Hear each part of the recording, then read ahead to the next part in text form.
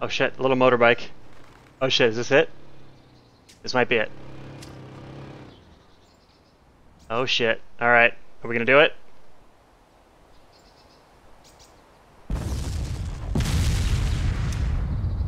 What?